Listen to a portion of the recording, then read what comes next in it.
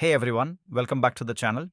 If you've ever thought about leaving Windows behind but worried about the learning curve, today I've got five solid reasons why Zorin OS makes switching to Linux not just painless, but actually fun and productive. By the end of this video, you'll see exactly why I recommend Zorin OS as the absolute best choice for Windows users. Let's kick things off with installation. With Windows, you know the drill multiple restarts, endless updates, waiting through the getting things ready screens.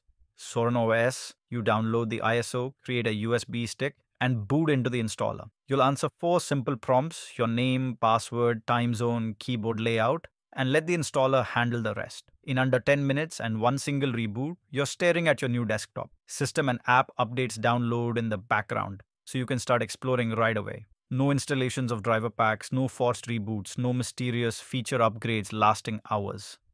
When you launch Zorin OS, everything feels intuitive. The start menu lives in the lower left corner, just like Windows 7 or 10, complete with search bar and pinned apps. Hover over an app icon to see live taskbar previews. Right click context menus let you quickly manage files or access app settings you can move the taskbar to any screen edge, left, right, top, or bottom, and resize it to your liking. One dark mode, one click in appearance settings, need to snap windows into a grid. Zorin OS's built-in tiling handles it all, no extra downloads required.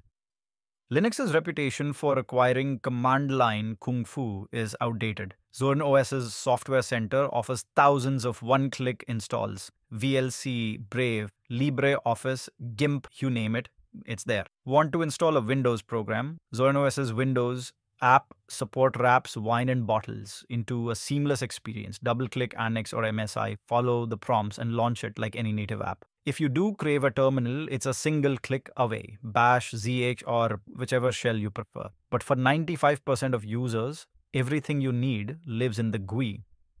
Before tossing that old laptop in the closet, install Zorin OS, I revived a decade-old machine that struggled under Windows 10. On Zorin OS, the desktop felt snappy, apps launched instantly, and multitasking was smooth. Now it streams media to my TV, runs LibreOffice for light editing, and even handles casual browsing without lag. Imagine having a backup machine or a dedicated streaming box without spending uh, a dime on new hardware.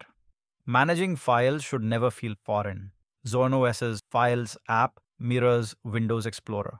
Default folders like Documents, downloads, music, pictures, and videos are visible immediately. Drag and drop works exactly the way you expect, and network shares or USB drives mount with a single click. You can create new directories, rename files inline, and even access your favorite folder straight from the Start menu. It's a frictionless handoff for anyone used to Windows file management.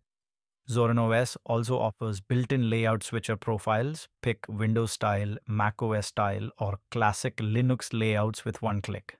And because it's Ubuntu based, you get long-term support releases with security updates for five years, giving you stability and peace of mind. There you have it. Five reasons Zorin OS is my top pick for Windows users migrating to Linux. Fast install, familiar desktop, GUI first approach, support for old hardware, and intuitive file management. If you've been nervous about trying Linux, Zorin OS removes all the headaches. I've linked the download in the description. Give it a shot on a USB drive or virtual machine first. Drop a comment below with your questions or share your Zorin OS experience. If you found this helpful, hit like, subscribe, and ring the bell for more Linux tips and tutorials. Thanks for watching, and I'll see you in the next video.